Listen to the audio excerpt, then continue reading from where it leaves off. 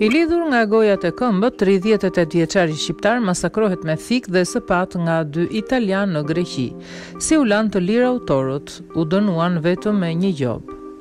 Një ngjarje e rëndë është regjistruar në Rodos të Greqisë, ku një 38 vjeçar shqiptar është masakruar me thikë dhe sëpatë nga dy italianë. Mediat greke raportojnë se gjithçka ka nisur pas sherrit Për një motoçikletë në korrik të vitit të kaluar, por që sot është publikuar si rast në media. Mësohet se protagonistë të sherrit janë bërë një dyzet e gjashtë vjeçar dhe tridhjetë e pesë vjeçar. Por çuditërisht, autorët janë lënë të lirë me kusht dhe janë dënuar me një gjobë prej dy mijë eurosh. Sipas të dhënave të policisë, shqiptarit i lidhën gojën, duart dhe këmbët dhe më pas i kishin vendosur një litar në qafë dhe e kishin dërguar në një magazinë që shërbente si dyqan duke e masakruar me thikë dhe sëpatë.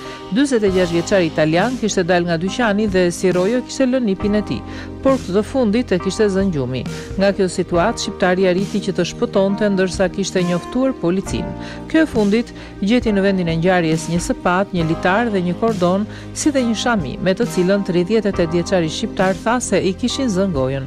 Dy italianët u arrestuan, duke u kapur edhe me substanca narkotike, por më pas janë lënë të lirë duke u dënuar vetëm me një gjobë.